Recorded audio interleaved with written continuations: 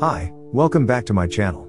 In this video, I will show you how to record and display images in a PostgreSQL database using Node-RED Dashboard 2.0. Let's get started. In Node-RED Dashboard 2.0, I created a form to insert data into the database, including an image input using UI file input.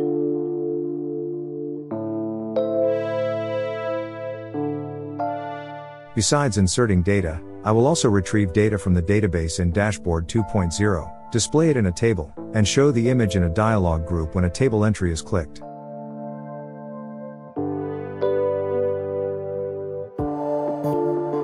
This is the page I created in the dashboard. The first page is input data, which includes groups for entering new data, viewing and editing data, and a dialog page for viewing images and editing data. The second page is view data, which displays data from the database into a table, along with a dialog page for viewing images in detail when data in table is clicked. Here is an example of the table I use to store data. It contains several columns with data in varchar format, such as item number, family, and others. For images, I use the bytea format, which is used to store binary data in the database table.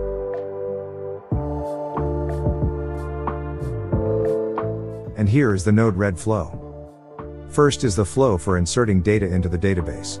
I use UI file input to upload an image and display the uploaded image in a UI template for preview. Then, a UI form is used to input other data such as item number, family, and other details. I use a join node to combine the uploaded image and form submission, ensuring the data is inserted only after both the image upload and form submission are completed. And here are the details of the flow for inserting data into the database.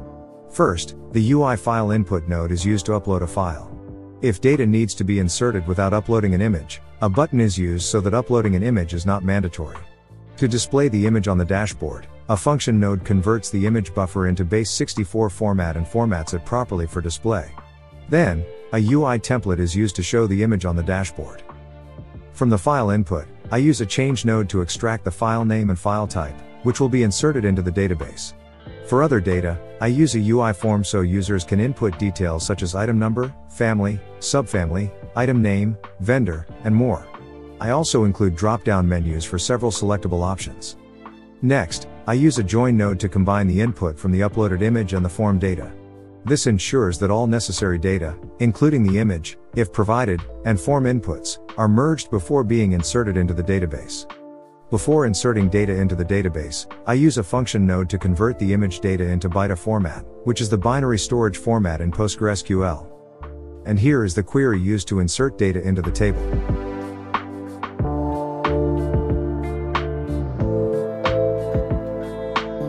The next example flow is view data. First, I use a button node as a trigger to execute a select query in the database. Then, a function node processes the retrieved data into an array format so it can be properly displayed in a table. In the table node, I enable the click interaction, so when a table entry is clicked, it will trigger the display of detailed data. First, the selected item number from the table is retrieved. Then, a change node sets the show property to display the dialog group by connecting it to the UI control node. Next, based on the retrieved item number, a select query is executed to fetch the corresponding data. The retrieved data is then displayed in text widgets and a template widget within the dialog group, including the image. Here are the details of the flow for displaying data. It starts with a button node as a trigger to fetch data from the PostgreSQL database. Then, a function node processes the retrieved data into an array format, which is then displayed in the table node.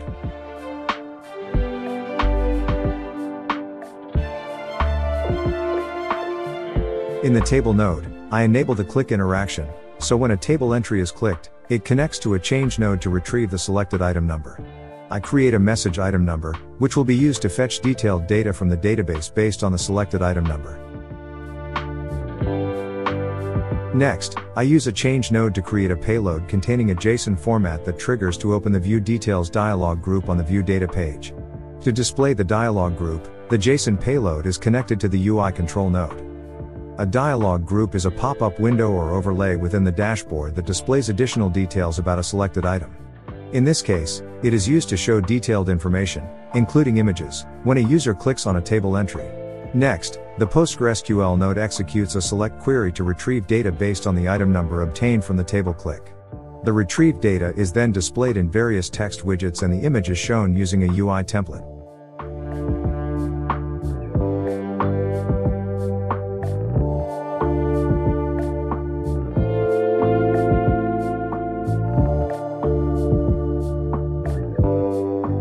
Here is the result. On the input data page, we can insert data, including uploading an image, which will then be recorded into the database table. First, click Upload and select an image file from the local drive. A preview of the image will appear. Next, the form becomes enabled, allowing us to input data such as item number, family, subfamily, item name, and other details. Finally, click the Submit button to record the data into the table.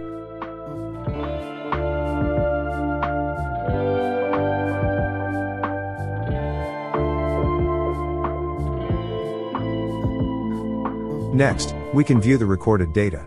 At the bottom, there is a button to trigger the select query, which retrieves and displays all data in the table. When we click on a table entry, a dialog appears, showing the image along with a form to edit the data. In this dialog group, there is an upload image option to replace the existing image in the table, along with a form to edit other information. Click the update button in the form to update the data in the table based on the modified information and the newly uploaded image.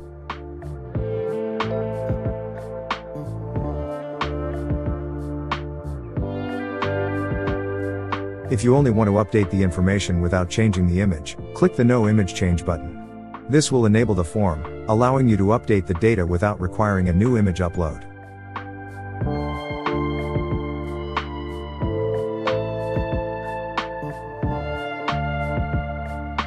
Next is the View Data page.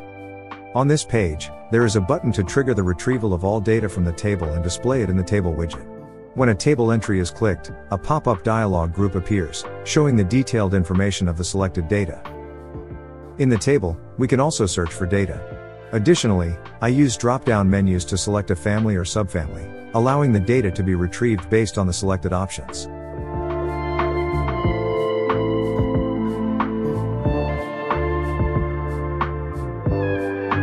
In conclusion, this video, I demonstrated how to record and display images in a PostgreSQL database using Node-RED Dashboard 2.0. We can input data and upload images, then display them in a table with search and filter features. When a table entry is clicked, a pop-up dialog appears to view details and edit information, including updating the image. The entire process, from inserting and viewing to updating data, is done interactively in Node-RED. Thank you for watching. See you in the next video.